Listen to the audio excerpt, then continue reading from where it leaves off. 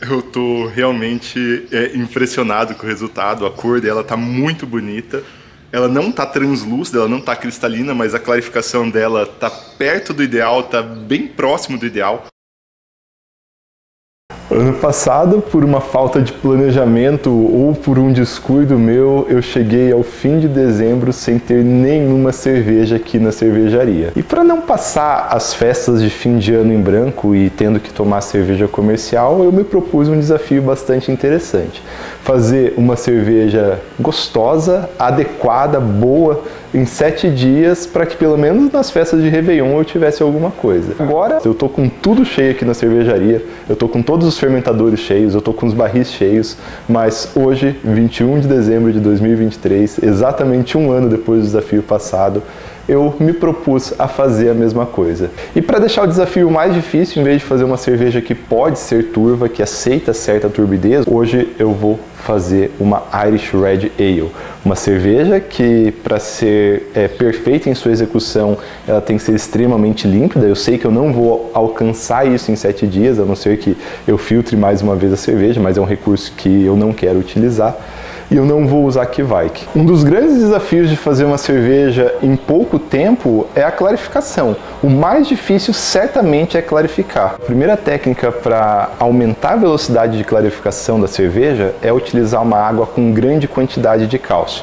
Então eu tenho aqui nossos três sais, cloreto de cálcio, sulfato de cálcio e sulfato de magnésio eu vou colocar nessa cerveja 120 ppm de cálcio, que é uma quantidade bastante elevada. Isso faz com que a capacidade de floculação das leveduras seja mais intensa e nos quatro dias de clarificação que eu tenho, talvez ajude um pouco a pelo menos eu ter uma cerveja que não tenha levedura em suspensão. Em 30 litros de água, chegou na temperatura já.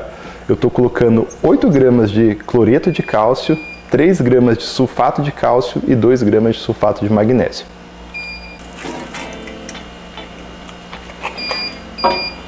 Meu Deus, olha isso. A base dessa cerveja vai ser malte Pale Ale, bastante típico inglês. Esse é o Pale Ale da Agrária. Eu estou usando 3 kg, 350 gramas. Seguindo, a gente vai com 530 gramas de malte Viena. O malte Viena ele tem uma torre um pouquinho maior, ele vai dar cor para a cerveja. Ele tem certo secor também, que faz parte do estilo. Eu gosto de Irish Red Ale mais sequinha, então se eu usasse, explorasse muito malte caramelo, por exemplo, para dar cor, eu ia perder um pouco dessa sensação de ser cor que eu gosto tanto. Então vamos lá com 330 de malte Viena. Malte caramelo tem uma intensidade de cor vermelha muito alta, muito mais alta que dos maltes escuros que muita gente usa para dar tonalidades vermelhas para cerveja. Eu tô aqui com malte é, caramelo 150 EBCs da Patagônia, um malte que explode aroma me remete a mel, me remete a caramelo mesmo, um certo toffee, um torradinho. Eu vou entrar com 320 gramas desse malte. E por fim, para escurecer a cerveja sem explorar muito do Viena ou do caramelo, eu vou usar um pouquinho 50 gramas de cevada torrada, ela só vai elevar a cor da cerveja e permitir que o vermelho dessa cerveja brilhe.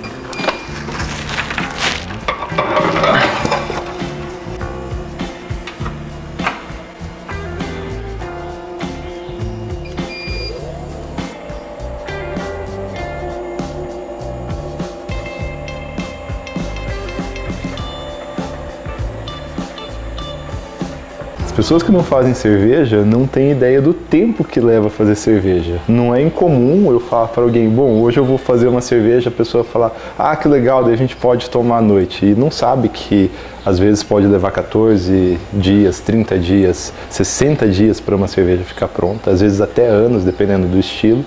E por quê? Por que demora tanto? Bom, basicamente está associado aos processos que a levedura faz. E a gente tem dois processos principais aqui: o da fermentação, fermentação e maturação, e o processo de clarificação, o processo onde a levedura vai sair de suspensão, principalmente a levedura, mas existem outros compostos também. A levedura vai sair de suspensão, vai para o fundo do fermentador e a gente consegue tirar uma cerveja limpa. Esses são os dois pontos cruciais fermentação, maturação, vamos dizer três então, né? Fermentação, maturação e clarificação. Todos esses tempos são longos, todos esses tempos demoram e a gente em geral, tenta respeitar esses tempos. A gente não consegue, na verdade, fugir muito dos tempos de cada levedura. Cada levedura tem seu tempo. Não adianta a gente querer fazer uma cerveja lager é, em sete dias. Existem recursos, alternativas, métodos alternativos que talvez vão convergir para algo similar a uma lager, mas não tem como a gente fazer uma lager clássica em sete dias, porque os tempos da levedura são outros. Por outro lado, existem leveduras que fazem esse processo muito rápido. Os Kvikes, por exemplo, que foi o que eu usei nesse desafio passado, são leveduras que foram selecionadas para fazerem cerveja em dois dias, porque no processo tradicional lá na Noruega elas eram inoculadas num dia, no outro dia é, já fermentavam, no outro dia já tomava cerveja e as leveduras que não tivessem feito um bom trabalho nesses três dias elas não seriam replicadas, não passariam para é, a próxima cerveja, não passariam seus genes para frente. Então dentre o que eles consideravam uma boa cerveja, você tem essa classe de leveduras que consegue realmente fazer uma cerveja em três dias. Claro, essa cerveja clássica norueguesa ela está bem fora do que a gente propõe aqui para o nosso desafio. Embora a gente possa usar aqui Kivike, então com todas essas suas características, para fazer cervejas é, normais, vamos dizer assim, em um tempo mais reduzido. E a gente sabe que tem uma Kivike ali porque o perfil sensorial é diferente.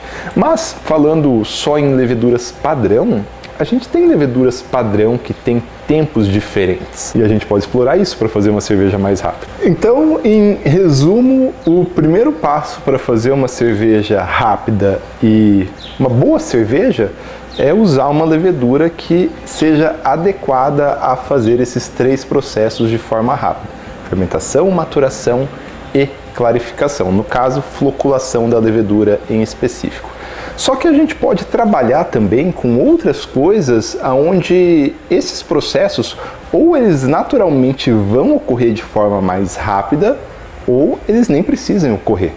Então, por exemplo, se a gente pegar uma cerveja turva, uma Weissbier, uma Weissbier tem turbidez de levedura, então a etapa de decantação, a etapa de clarificação, é uma etapa que a gente pode cortar do processo. Beleza, olha aí, isso aí já faz a gente conseguir fazer uma Vaz em praticamente sete dias sem problema nenhum.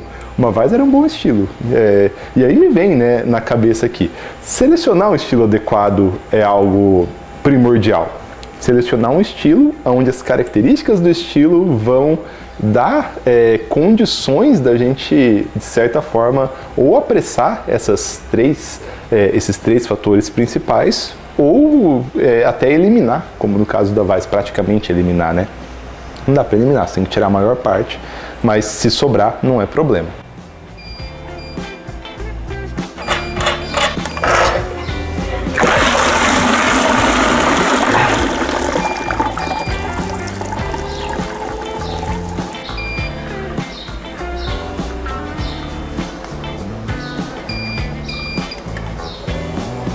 Recurso que a gente pode utilizar para ter uma fermentação mais rápida é justamente projetar uma cerveja de forma que ela tenha menos material a fermentar, menos açúcar a metabolizar. E assim, cervejas de baixo teor alcoólico entram lindamente nisso daí. E ainda como um bônus secundário, quanto menor a viscosidade do mosto, mais rápido é a decantação. Então, cervejas feitas com baixíssimo teor alcoólico, elas naturalmente têm pouco material em suspensão e esse material ele consegue descer para o fundo do fermentador muito rápido porque não existe essa barreira física da viscosidade. Falando de clarificação, acho que a melhor estratégia de todas é efetivamente pegar um estilo que você não precisasse clarificar. Se eu fizesse uma Hazy American Pale Ale, uma APA turva, beleza, não tem problema nenhum, eu ia conseguir chegar na turbidez dessa cerveja é, ia chegar na, no objetivo dessa cerveja sem ter que demandar um tempo a esse processo, mas eu acho que eu fui muito além. Peguei uma Irish Red Ale, Irish Red Ale, um estilo que não pode ter levedura em suspensão. Até um pouquinho, bom, para uma cerveja de 7 dias a gente aceita, mas não pode. A cerveja, uma boa Irish Red Ale tem que ser cristalina. Eu sei que eu não vou atingir isso, mas eu quero ver até aonde eu vou chegar usando os recursos que eu tenho aqui. E como que eu vou atingir tudo isso? Isso vem o principal, em torno do que tudo os meus processos aqui rodam, que é em torno de uma levedura que é rápida, que flocula rápido e que não atenua tanto.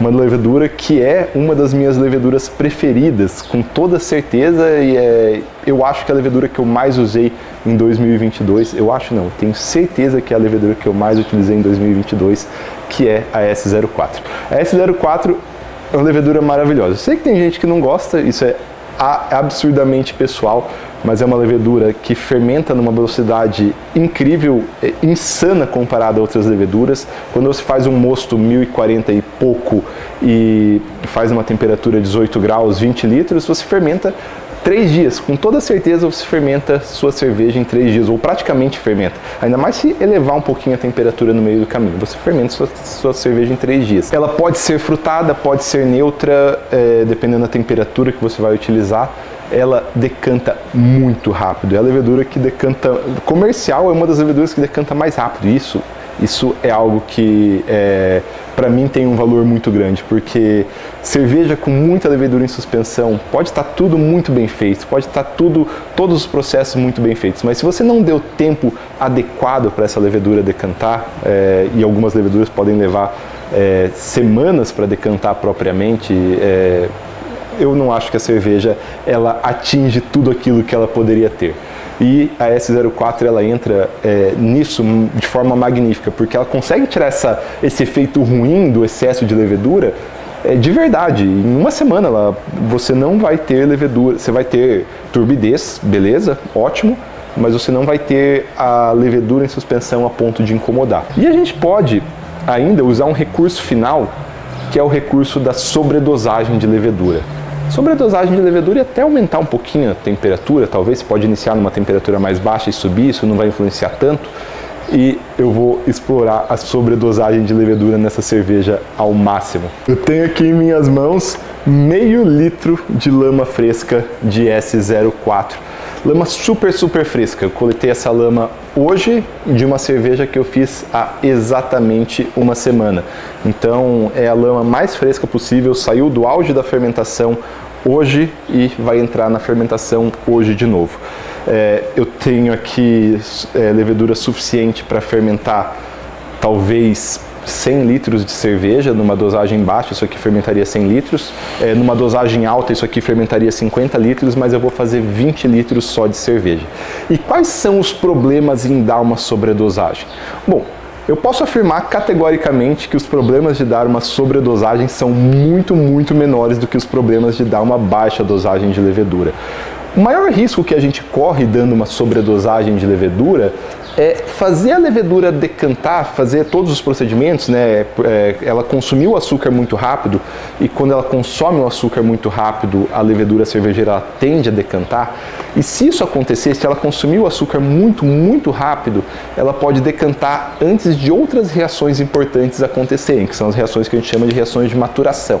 Esse é o principal problema de dar sobredosagem de levedura. Eu vou dar um exemplo técnico aqui que talvez pode não ser adequado para quem está começando a fazer cerveja agora, mas por exemplo o diacetil.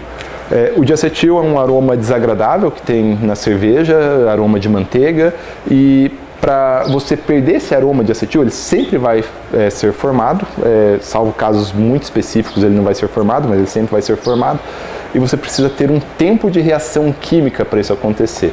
A levedura produz um composto intermediário chamado de alfa-acetolactato. Esse composto ele tem que virar de acetil, então a levedura ela consegue consumir esse composto e a levedura ela não manda muito em como o alfa-acetolactato vira de acetil. Então, pode acontecer dela decantar, dela perder atividade antes disso acontecer. Normalmente não é o diacetil, ainda mais quando a gente fermenta em temperaturas muito altas, mas um composto intermediário do álcool, que é o acetaldeído. Às vezes o acetaldeído ele não é consumido totalmente, e aí a gente tem, é dito, né, o descritor sensorial de maçã verde, mas uma dosagem de quatro vezes a dosagem ideal, isso ainda não vai acontecer.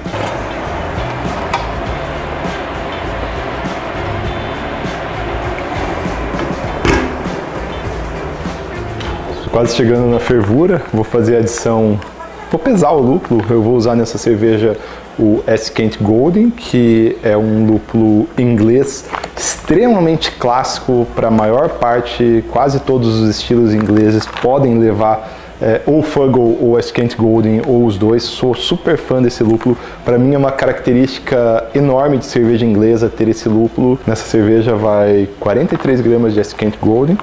Como eu tenho aqui 50 gramas e eu não tenho muito o que fazer com esses 7 gramas excedentes, eu vou pesar eles e vou acabar descartando ou guardando para o futuro. Então eu vou pesar o que eu vou jogar fora, na verdade. Eu tenho sete dias para fazer essa cerveja.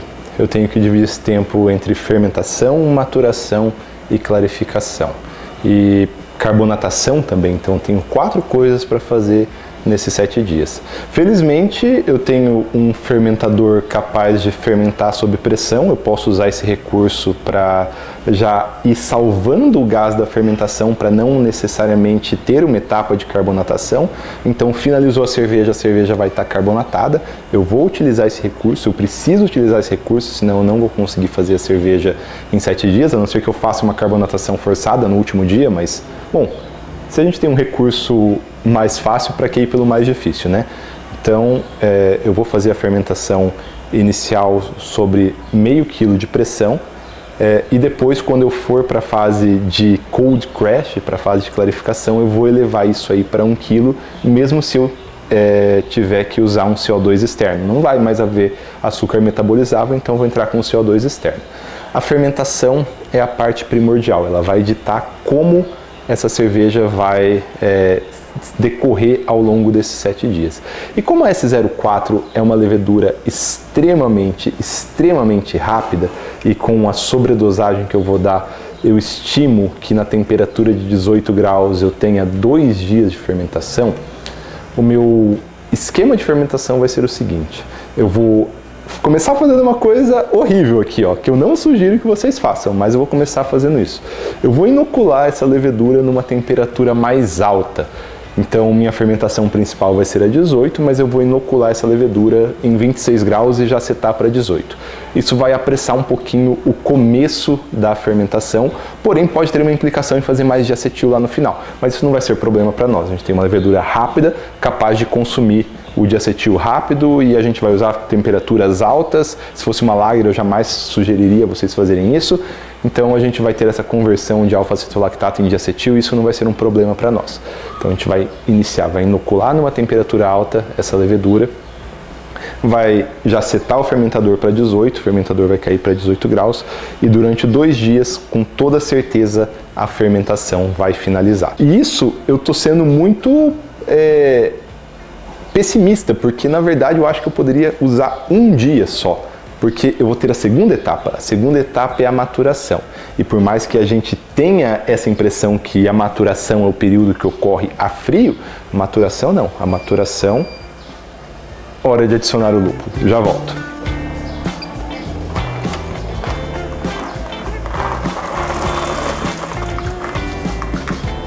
A maturação, ela é na verdade o processo onde esses componentes desagradáveis sintetizados pela levedura, como o diacetil, o acetaldeído e alguns outros, eles são reabsorvidos, então a gente precisa de atividade metabólica da levedura para isso acontecer.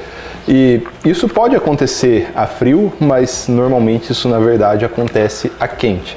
Então, no terceiro dia de fermentação, eu vou elevar a temperatura dos 18 para 23 graus. Nesse processo, é, a gente vai apressar as reações químicas que tem que acontecer, por exemplo, a reação química intermediária do diacetil, e a levedura ela vai acabar metabolizando e reduzindo isso daí. Então, terceiro dia, a temperatura sobe. Quarto dia, a gente vai abaixar a temperatura, mas a gente vai abaixar escalonado porque é, existem duas coisas que a gente quer decantar. A gente quer decantar a levedura e a gente quer decantar os particulados. Os particulados, principalmente particulados microscópicos que só vão se formar a frio, a gente precisa temperaturas muito baixas, perto do congelamento. Mas a levedura não é tão importante. Na verdade, é ao contrário. A temperatura ótima de floculação, que é o ato da levedura se abraçar uma às outras e aí ficar uma molécula mais pesada, mais maior, na verdade, que decanta mais rápido. Uma molécula, não é uma molécula, né? Estou chamando ela de molécula, coitado. Ficar um organismo maior, um organismo com um diâmetro é, maior, e isso vai fazer com que a velocidade de decantação seja maior. Isso acontece em temperatura ótima por volta de 8 a 12 graus e isso é muito dependente do tipo de levedura. Então, por isso eu vou abaixar para 10 graus, vou deixar um dia a 10 graus, vou entrar com gelatina nesse quarto dia.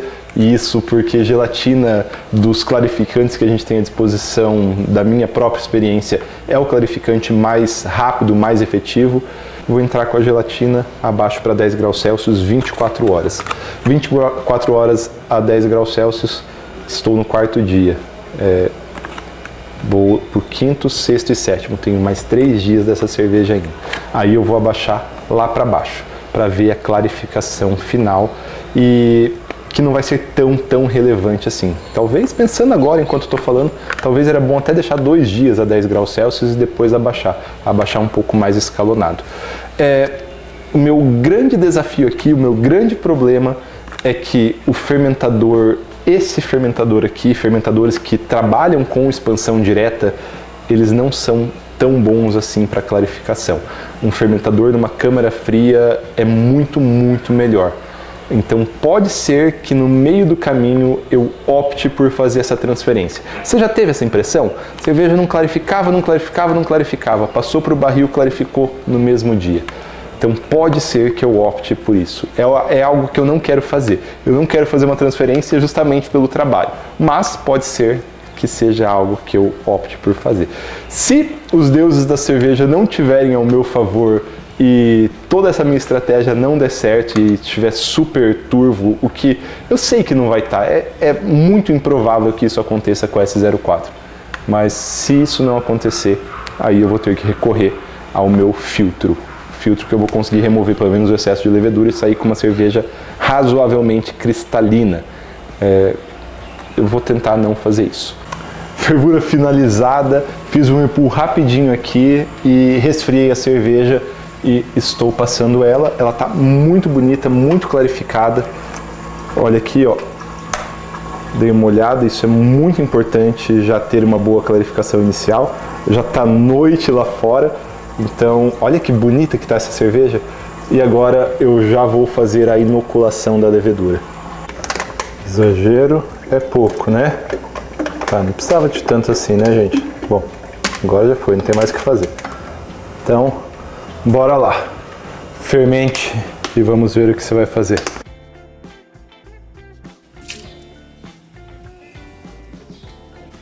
Aqui tirando um pouco mais em cima na, na torneira de prova ali, ó. Cerveja tá turva, bastante turva. Não tá nem um pouco perto do que deveria estar, tá, mas tá bem menos turva do que embaixo. Bom, é um bom indício que as coisas estão indo bem. Aroma tá perfeito, bem neutro, um leve é, tostadinho, um leve, leve caramelozinho. Hum, a cerveja tá sequinha, caramelozinho de fundo, deliciosa. Vamos ver. Três dias já dá pra tomar cerveja. Isso aqui dá pra tomar com toda certeza. Quarto dia, vamos ver como que tá a cerveja. Olha que até, até que tá boa já, tá bonita já. Clarificou bem a cerveja, estou usando um copo grosso aqui. Não está translúcido ainda, mas tá a caminho, hein? O pH tá certinho, 4.4. Acabei de calibrar o pH. Sexto dia, vamos ver como está a cerveja. Nesse momento ela já tem que estar tá razoavelmente clarificada, porque o desafio é que ela esteja pronta até amanhã. Ontem não estava ruim. Bom, vamos ver como está hoje. É engraçado que não está compactando essa levedura. Normalmente compacta muito bem. Mas tá, tá purgando, ó. Tá legal. Beleza, agora começou a passar cerveja. Então, mais, mais clarinho aqui, ó. Pronto, vou travar. Vamos ver como tá. Ah, tá bonito até. Tá muito bem clarificado até. Bom, como resta só um dia para classificar, eu vou partir para medidas extremas. Eu vou passar para um decantador externo, porque na geladeira decanta muito, muito melhor do que no fermentador é, auto-refrigerado, ou não só no auto-refrigerado, mas decanta melhor que no fermentador em geral. Isso se deve a fluxos convectivos que ocorrem dentro do fermentador, que não vem o caso falar agora. E, bom, como eu quero fazer as coisas mais rápido, eu vou pegar a partir daqui. Eu não vou pegar daqui. Se eu pegasse daqui, eu ia ganhar tudo isso de cerveja. Muita cerveja que eu tenho aqui. Mas, bom, o experimento não é ter rendimento, né? O experimento é ter uma cerveja pronta.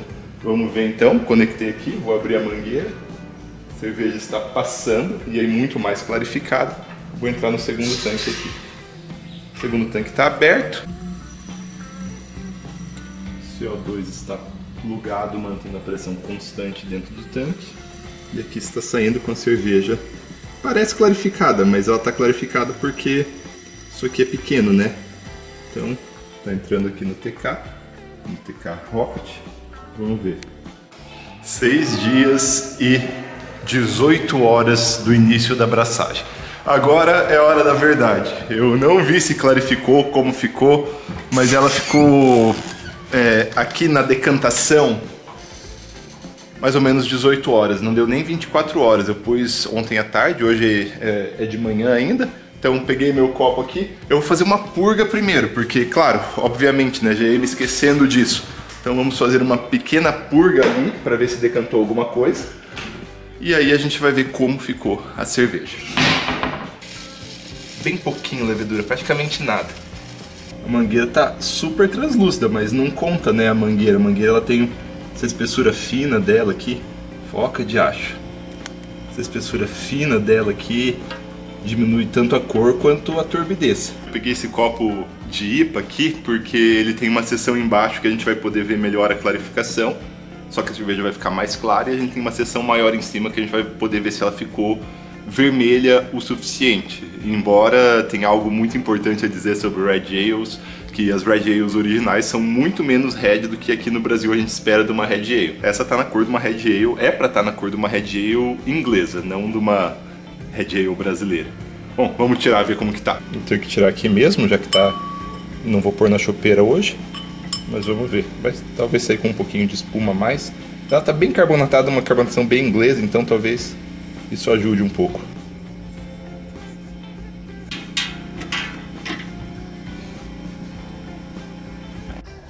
Seis dias, 18 horas e alguns minutos. Gente, eu tô extremamente feliz com. Tem que ir pra luz para aparecer, né? Ficou translúcida na medida do possível ficou um vermelho intenso, muito bonito. Olha isso, que legal. Nossa, vou fazer um 360 na cerveja que cada lugar que a gente olha é diferente, né? Cada condição luminosa é diferente. Eu tô realmente é, impressionado com o resultado. A cor dela tá muito bonita. Ela não tá translúcida, ela não tá cristalina, mas a clarificação dela tá perto do ideal, tá bem próximo do ideal. É, aqui, claro, uma cerveja vermelha ela depende muito da luz, né? No, no ângulo que eu estou olhando, do escuro para o claro, ela tá incrível, tá muito bonita. Ah, o creme dela tá um begezinho bem estável. Olha, eu já tirei essa cerveja faz uns 3 minutos, porque eu tava procurando um lugar legal para gravar. Cara, olha que coisa mais linda. Ah, tá uma delícia. Gente, que alegria ter esse resultado nessa é, velocidade tão intensa assim. A cerveja ela tá impecável, ela tem um caráter inglês muito marcante, tem o terroso do, do EK aqui, do West Kent Golden, é, preenchendo o, o, nariz, assim, é característica muito marcante. Tem caramelo, tem um leve tostadinho de fundo, assim, que engrandece bastante a cerveja. Tá sequinha, dá aquele secor na boca que dá vontade de tomar mais e tomar mais. A cerveja está incrível. Então tá aí, o desafio superou de longe o desafio do ano passado. A gente conseguiu fazer uma cerveja razoavelmente clarificada, até bastante clarificada, chegando no objetivo. Eu, eu, não, eu não achei que ia chegar nisso. E o mais importante, o sensorial exatamente como deveria ser. Uma Red Ale de respeito.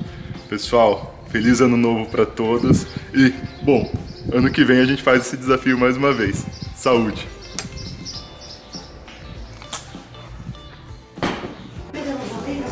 Prova, tá nessa. Deixa eu experimentar agora. Conseguiu, hein, Jamal? Cerveja de sete dias ficou boa, hein?